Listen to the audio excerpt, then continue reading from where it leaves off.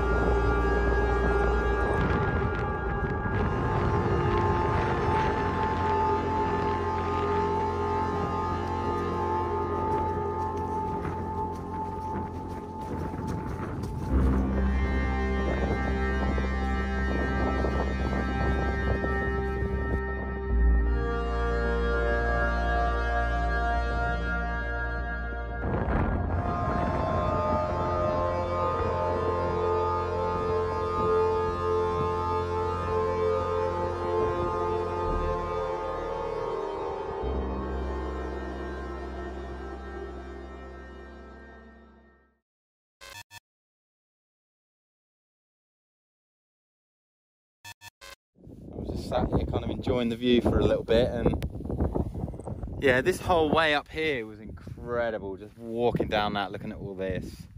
But there was um, a couple of peaks prior to this, this one here. Um, I ended up going down the wrong way because you're following the contour of one of the tops but it's easy to just follow that and uh, forget that you're supposed to be following the cliff edge so I ended up having to backtrack about five minutes because I went about I don't know half a mile quarter of a mile too far and now I'm here so I've just got this ginormous up now a down and up and then I'm at the old man Storr, and that's the hardest part of the trail done feeling good legs are good um, feet are wet but no blisters I don't know how these sealskins are doing today. I think they got wet inside last night because I left them outside the tent and it rained. So my feet are just wet now. But that's me. There you go, there's Needle Rock. I've just hiked through some of the worst wind and rain to get here. And Old Man of Storr is down there somewhere. So I'm just going to keep going. I won't be able to get much good film done on this today. Look at that. Man, oh man. so terrible. Get the drone up, get some sick footage.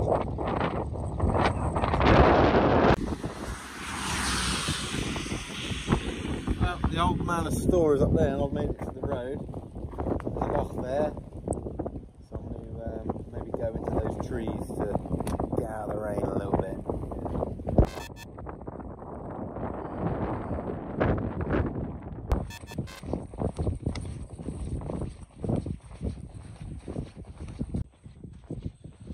uh, just crossed the reservoir, had a little something to eat in those trees, and like I'm on my way to Portree now. It's like nine miles from here now. So I'm just gonna keep going. Ah, oh, this weather this weather has literally chewed me up, spat me out. I don't know why they call this the Skye Trail. There is no trail at all. Just bog, bog, bog. Look up there. Yeah, that's where the old man of Storr is, and I just woo, way down there, over here. Now I'm walking through God knows what, but it looks like it's starting to clear up a little bit.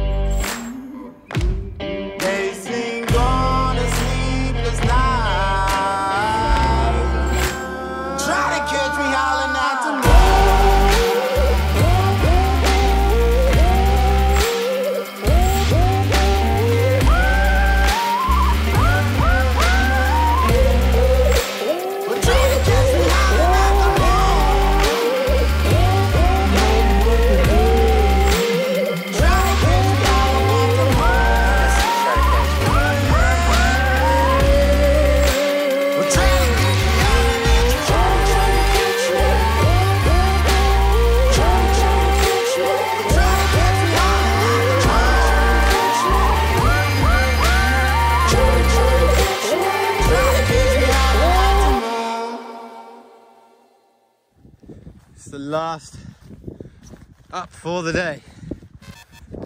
The last trig point and the last epic view. I'm absolutely cream. Wow. There's uh, Portree down there. Over there, there's the old man's Storr where I was a few hours ago. This is all the bog. Midge Central, look at this, just look at it.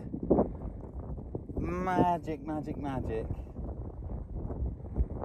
You can see the Cuillin shrouded in cloud there, just between my trekking poles. Be there either tomorrow or the next day. So glad the weather cleared up. Now I've managed to dry out a bit. That was the uh, one of the hardest, toughest sections of trail I've ever hiked. I didn't need to take any compass bearings, but I was kind of in the mood to do it. But yeah, big day. All right, now down to Portree. I'm gonna go get a beer.